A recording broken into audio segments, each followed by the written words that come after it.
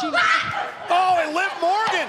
Liv Morgan assaulting Sonya Deville. Deville, I guess, didn't learn her lesson. Whoa. And now the brawl continues back in the locker room area. The fight is on. Can Sonya Deville get one up finally on Liv Morgan?